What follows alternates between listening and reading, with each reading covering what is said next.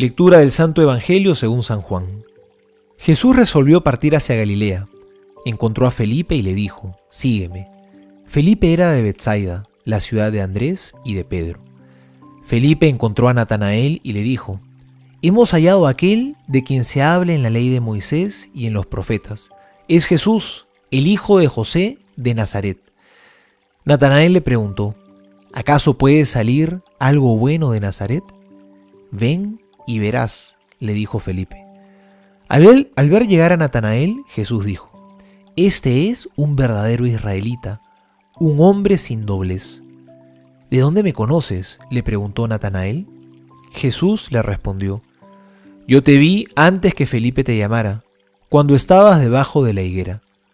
Natanael le respondió, Maestro, tú eres el Hijo de Dios, tú eres el Rey de Israel. Jesús continuó, porque te dije que te vi debajo de la higuera, ¿crees? Verás aún cosas mayores. Y agregó, les aseguro que verán el cielo abierto y a los ángeles de Dios subir y bajar sobre el Hijo del Hombre. Palabra del Señor, gloria a ti, Señor Jesús. Hoy nos encontramos con el apóstol Felipe en los comienzos de su misión apostólica y es llamado por Jesús y lo primero que hace es empezar a compartir esta buena noticia con sus amigos. Ese es el signo de una buena amistad, querer compartir con la persona querida los bienes más grandes que uno tiene. Felipe se encontró con Jesús y fue a contarle esta buena noticia a su amigo Natanael. Y no solo se la cuenta, sino que lo invita. Ven y lo verás. Es que Jesús no es solo una noticia que hay que transmitir, porque a continuación hay que venir, hay que acercarse. Porque la fe no se puede vivir a la distancia ni por correspondencia. A veces nos da la gana de querer vivir un cristianismo de lejos, sin muchos compromisos, que no signifique cambiar mis costumbres ni mi estilo de vida. Pero ese no es el cristianismo que el Señor nos invita a vivir. La invitación de Felipe no es fácil y se topa con una realidad muy común, se topa con los prejuicios. ¿Acaso puede salir algo bueno de Nazaret? Pero Felipe no se desanima, no se desalienta por la aparente negativa. El anuncio de Cristo nunca ha sido fácil. ¿Cuántas veces nos topamos nosotros también con un no rotundo, o peor aún, con una fría indiferencia? Pero es la misión de todo cristiano compartir el regalo de la fe. Hoy Felipe nos muestra con su vida la esencia de la vocación apostólica, que también todos nosotros estamos llamados a vivir. Soy el Padre Juan José Paniagua y les doy a todos mi bendición en el nombre del Padre y del Hijo y del Espíritu Santo. Amén.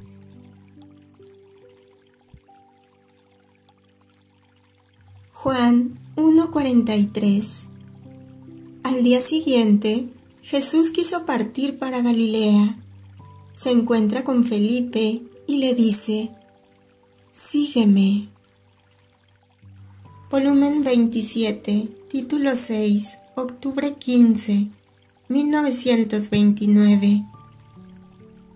Hija mía, tú debes saber que todo lo que mi querer divino ha hecho, tanto en la creación como en la redención, lo ha hecho por amor de las criaturas, y para que éstas, conociéndolo, subieran en su acto para mirarlo, amarlo, y unir el acto de ellas al suyo para hacerle compañía y poner aunque sea una coma, un punto, una mirada, un te amo a las tantas obras grandes y prodigios divinos que mi fiat, en el ímpetu de su amor, ha hecho para todos.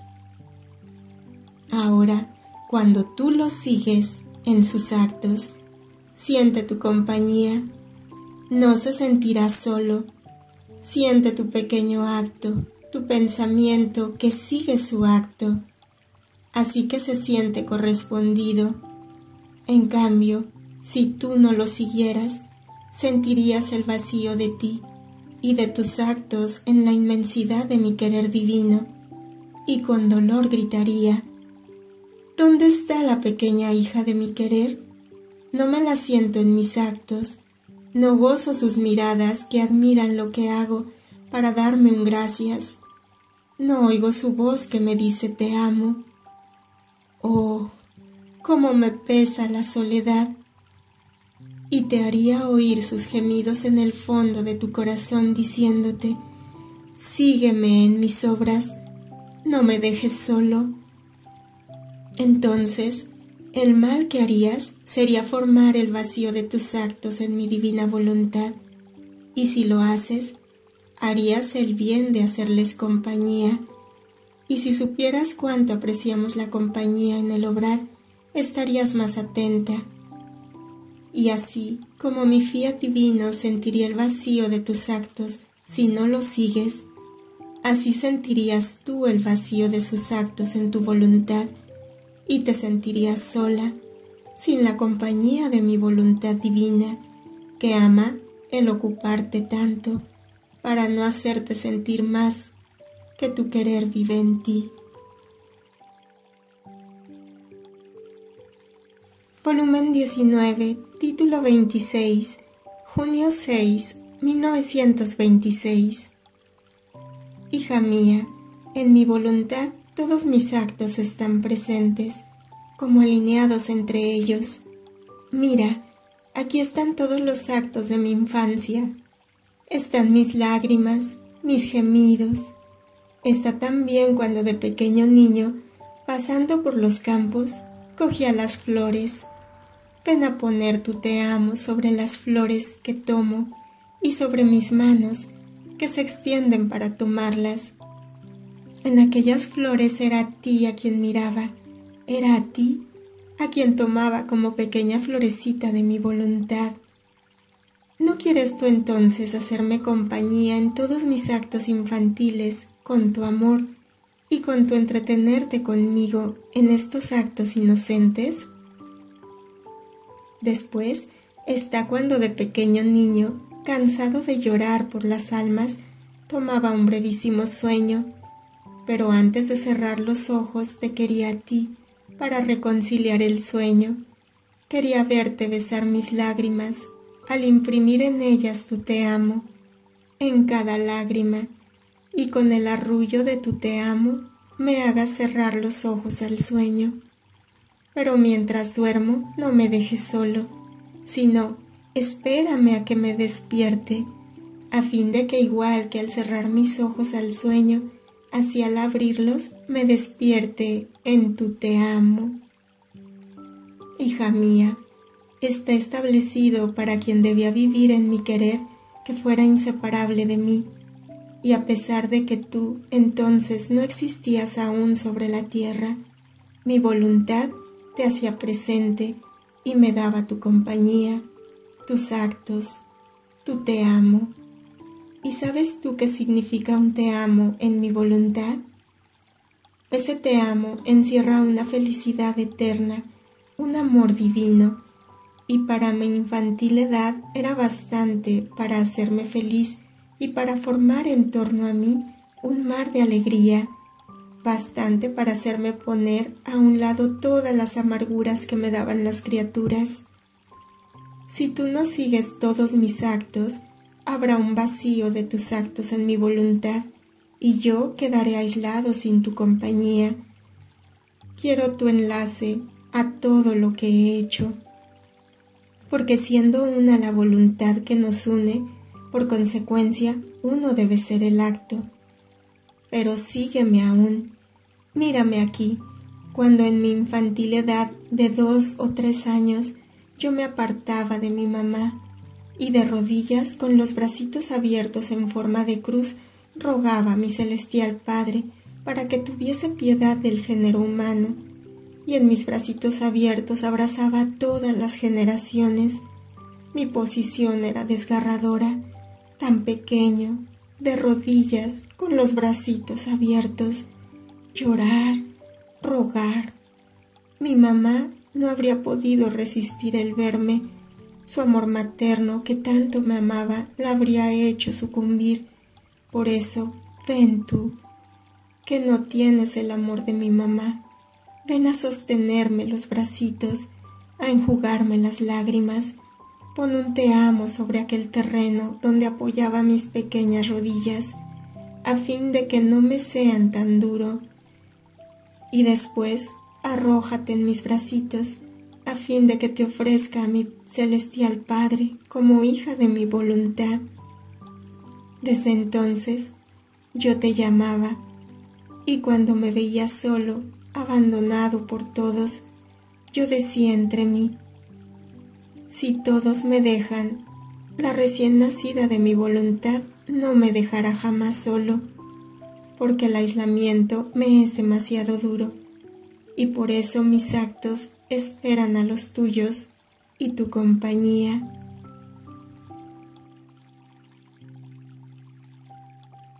Juan 1, 45-46 Felipe se encuentra con Natanael y le dice, ese del que escribió Moisés en la ley y también los profetas, lo hemos encontrado, Jesús, el hijo de José, el de Nazaret.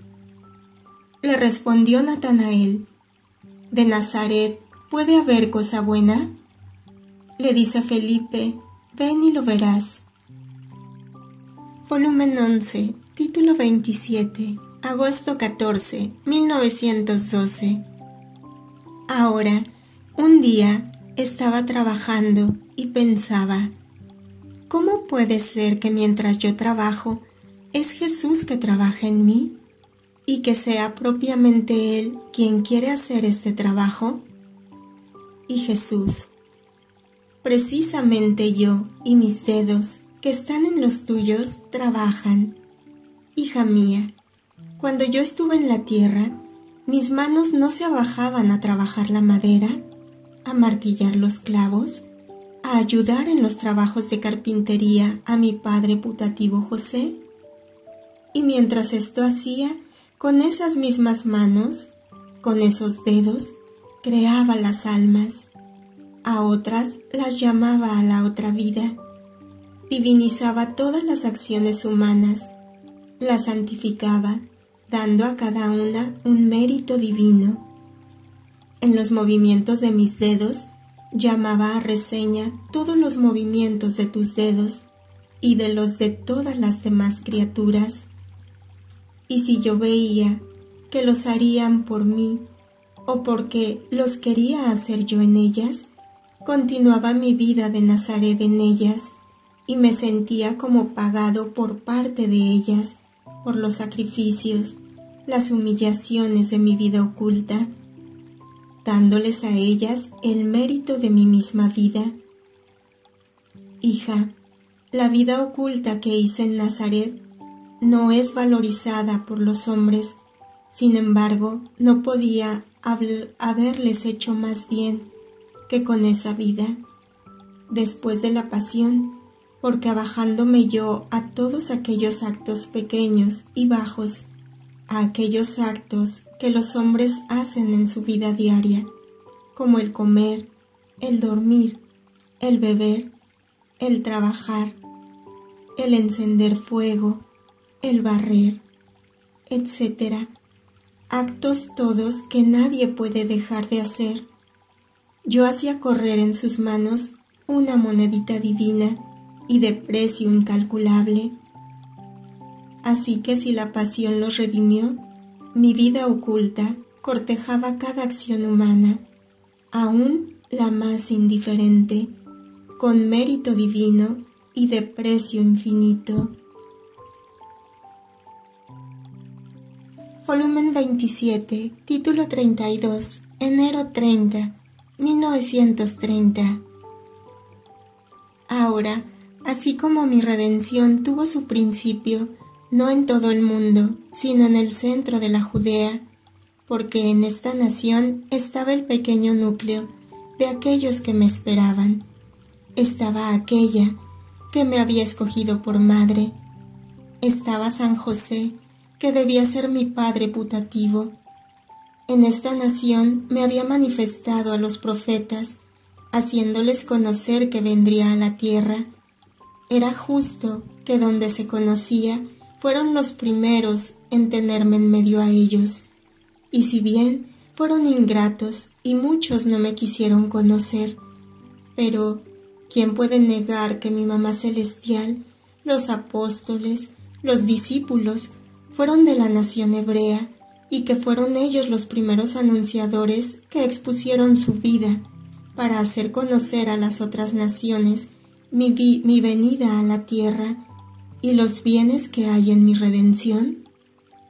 Así será del reino de mi fiat divino, los países, las provincias, el reino, que hayan sido los primeros en conocer los conocimientos de mi divina voluntad y su expresa voluntad de querer venir a reinar en medio a las criaturas, serán los primeros en recibir los bienes que traerá su reino. Y después, haciéndose camino con sus conocimientos, hará su giro en medio de las generaciones humanas. Hija mía, hay mucha analogía del modo como se desarrolló la redención y el cómo se desarrollará el reino de mi divina voluntad. Mira, en mi redención escogí una virgen. Aparentemente no tenía ninguna importancia, según el mundo, ni de riqueza, ni de altura de dignidad, o de puestos que la señalaran. La misma ciudad de Nazaret no era importante. Una pequeña casita era toda su habitación, pero a pesar de que la escogí de Nazaret, quise que perteneciera a la ciudad capital de Jerusalén, en la cual estaba el cuerpo de los pontífices y sacerdotes que entonces me representaban y anunciaban mis leyes. Para el reino de mi divina voluntad he escogido otra virgen que aparentemente no tiene ninguna importancia, ni de grandes riquezas, ni de altura de dignidades. La misma ciudad de Corato no es ciudad importante, pero pertenece a Roma, donde reside mi representante en la tierra, el romano pontífice, del cual parten mis leyes divinas, el cual, así como se hace un deber el hacer conocer a los pueblos mi redención, así se hará un deber el hacer conocer el reino de mi divina voluntad. Se puede decir que la una y el otro irán a la par en el modo y en el cómo, cómo se debe desarrollar el reino de mi fiat supremo. Juan 1:47 Vio Jesús que se acercaba a Natanael y dijo de él, Ahí tenéis a un israelita de verdad, en quien no hay engaño. Volumen 8 Título 47 Septiembre 3 1908 Yo soy luz, pero ¿de qué está formada esta luz? ¿Cuál es el fondo de ella?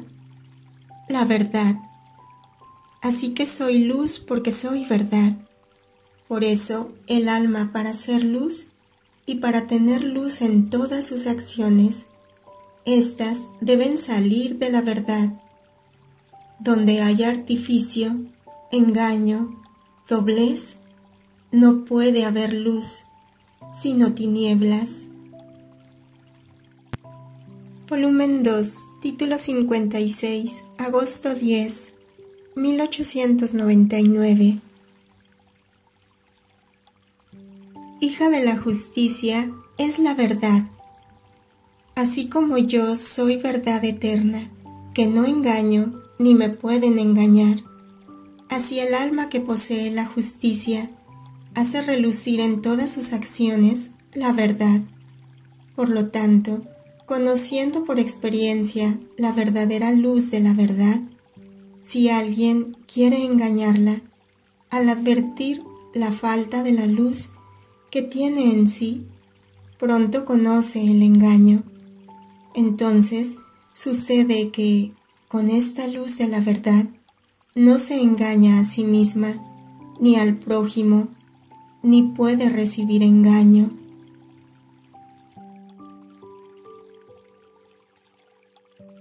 Juan 1.50 Jesús le contestó, Por haber dicho que te vi debajo de la higuera, ¿crees? Hace ver cosas mayores.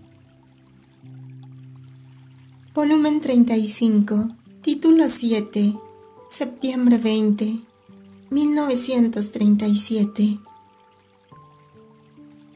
Hija mía bendita, el amor de mi querer no se detiene jamás. Va buscando siempre nuevos reencuentros, nuevas invenciones de amor.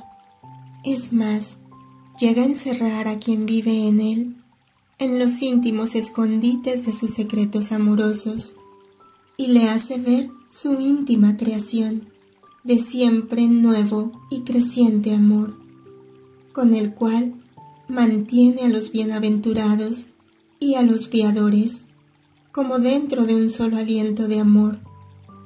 Le descubre sus nuevos arcanos celestiales de nuestra divinidad. Le da nuevas noticias de hasta dónde puede llegar su potencia amorosa, sus prodigios que puede obrar en quien vive en él, siempre y cuando la encuentre en su voluntad. Toma gusto en decirle siempre cosas nuevas y darle nuevas sorpresas de amor. Es más, escucha lo que hace. Se empequeñece en la criatura y al mismo tiempo permanece inmenso y ama en ella para decir, ah, la criatura me ama como la sé amar yo. Y como nada entra en nosotros que no sea amor, esta mi voluntad, como empequeñecida en la criatura, todo lo que ella hace lo convierte en amor. Si reza, si adora, si obra, convierte todo en amor y con una potencia toda divina. Mi misma voluntad conduce estos actos de la criatura al seno de nuestra divinidad y toman su puesto en nuestro amor. Y nosotros estos actos los vemos que son actos nuestros y sentimos en ellos la plegaria eterna de nuestro amor, nuestra adoración toda de amor, nuestras obras eternas de amor. Y, oh, cómo quedamos glorificados y felices porque la criatura puede decirnos, mi oración, mi adoración, mis actos son eternos y están investidos por vuestro eterno amor. Así me los ha hecho vuestra voluntad divina. Por eso te amo como tú me amas. Y es propiamente esta nuestra locura nuestro delirio de amor, que queremos hacer y amar en la criatura como hacemos y amamos en nosotros mismos. Pero solo nuestra voluntad reinante y obrante en la criatura puede llegar a tanto, porque nosotros, si nos abajamos, no es para perder nuestro ser divino en lo finito, sino para elevar a la criatura a lo infinito y darle lo nuestro y sellar sus más pequeños actos, aún su respiro, su movimiento, con nuestro eterno amor, a fin de que sintamos en ella nuestro respiro de eterno amor, nuestro movimiento en el suyo, que no se mueve si no hace brotar amor. Por eso, Toda la creación no fue otra cosa que un desahogo de amor. Queríamos hermanarnos con nuestras obras, con las criaturas que sacábamos a la luz para amarnos con un solo amor. Hija mía, qué dolor al no haber sido comprendido esto por las criaturas.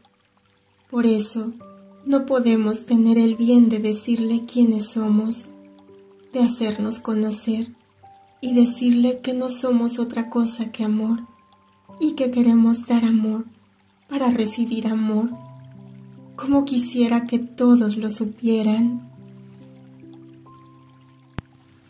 Jesús ha hecho silencio, como ahogado en sus llamas de amor. Después, como si tuviera necesidad de desahogarse aún, ha vuelto a decir suspirando, como si quisiera incendiar a todo el mundo con su amor. Escucha, hija mía, otra sorpresa más grande de nuestro intenso amor y hasta dónde llegan nuestros delirios de amor. Nuestro ente supremo ama tanto a la criatura que llegamos al exceso de imitarla.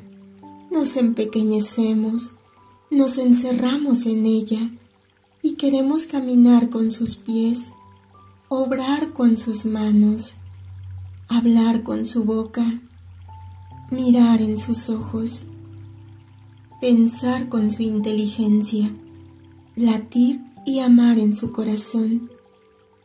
Así que para hacer todo lo que hace, y como lo hace la criatura, queremos tener pies, manos, boca, ojos y corazón como los tiene la criatura.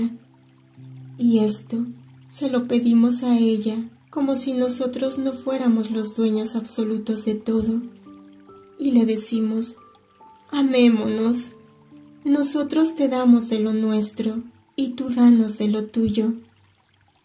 Porque nuestro Ser Supremo, siendo purísimo espíritu, es paso sin pies. Sin caminar se encuentra por todas partes.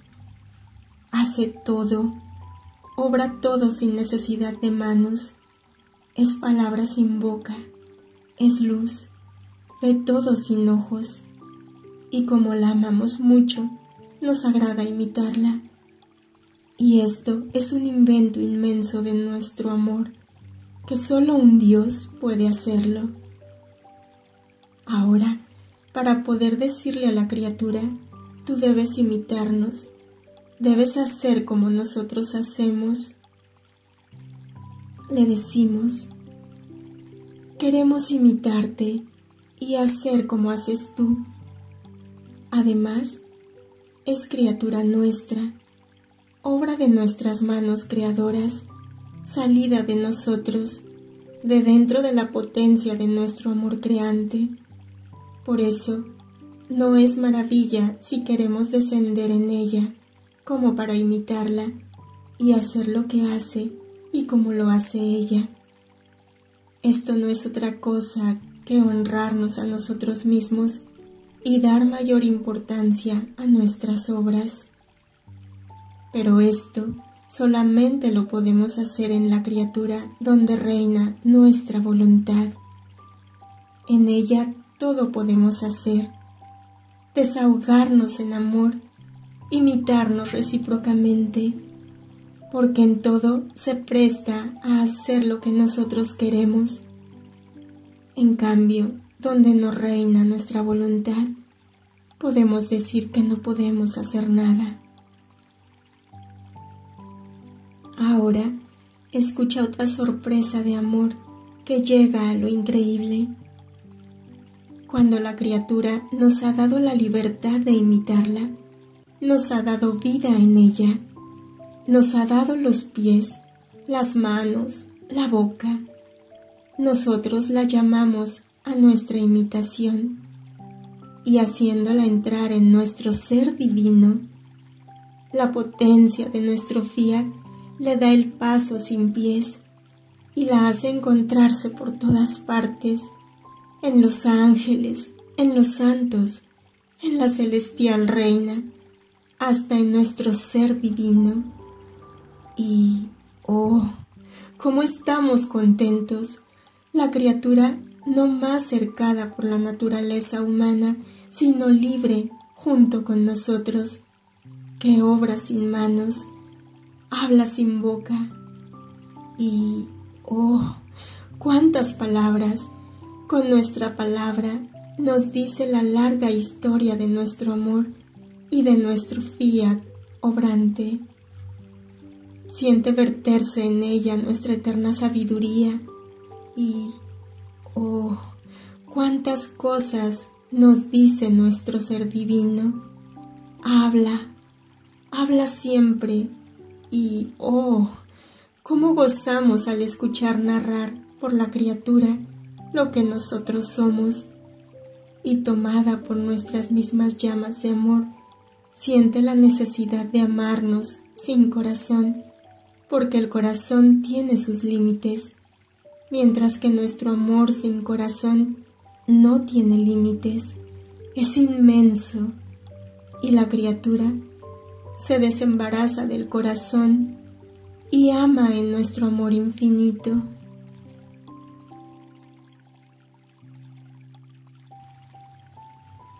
Volumen 36, título 23, agosto 6, 1938. Mi pequeña hija de mi querer, tú buscas tu refugio en mí y yo busco mi refugio en ti, para gozarme a mi criatura y reposarme en ella, a fin de que su amor me tenga defendido de todas las ofensas de las criaturas Debes saber que cada vez que la criatura entra en mi voluntad para hacer sus actos, tantas veces le doy mi vida divina y ella tantas veces me da su vida humana. Así que ella queda dotada de tantas vidas divinas por cuantos actos ha hecho en mi voluntad, y yo quedo honrado, glorificado circundado por tantas vidas humanas, porque un acto en mi voluntad debe ser completo. Yo me doy todo, no me reservo nada de mi ser supremo, y ella me da todo de su ser humano. Entonces, ¿cuál no será el bien que recibe la criatura con poseer tantas vidas divinas mías? Y conforme va repitiendo sus actos, tantas vidas mías se agregan y le doy virtud de dilocar su vida para poder decir, por cuantas vidas mías le he dado, tantas me ha dado. Puedo decir que solamente entonces encuentro todo mi contento, cuando a cada instante veo darme la vida de ella, para poder dar la mía. Ver que la criatura me da su voluntad humana es mi más grande triunfo, y llevado por el amor, canto mi victoria, victoria que me cuesta mi vida, y la espera de cerca de seis mil años, en los cuales he suspirado con tantas ansias y suspiros amargos y ardientes el retorno de la voluntad humana en la mía. Por eso, Habiéndolo obtenido, siento la necesidad de reposarme y cantar victoria. Así que no hay alegría más bella que la criatura pueda darme que vivir en mi voluntad, ni puede haber dolor mayor que pueda darme que sustraerse de ella, porque entonces me siento ofendido en todas las cosas creadas. Porque donde quiera y por todas partes se encuentra mi querer, y yo siento que me llega la ofensa en el sol, en el viento, en el cielo y hasta dentro de mi seno.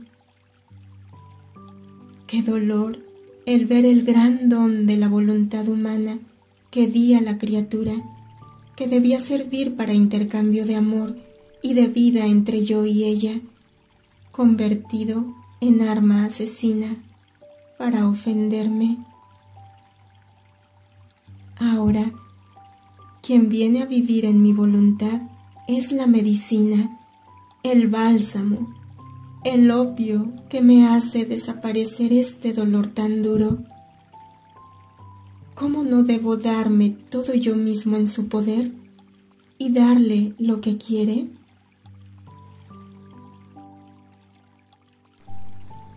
Jesús, te amo. Extiende tu reino en cada corazón de criatura. Fiat.